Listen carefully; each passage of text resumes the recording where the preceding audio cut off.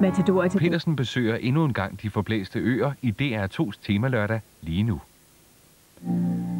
Kulturen kommer til Korsbæk i form af en kunstudstilling, og med den også en del af Måts fortid. Morten Grundvald er den passionable kunstmaler, der ikke kun prøver at vække den kunstneriske ild i den altid sovende Maud. Matador præsenteres i samarbejde med den Danske Bank.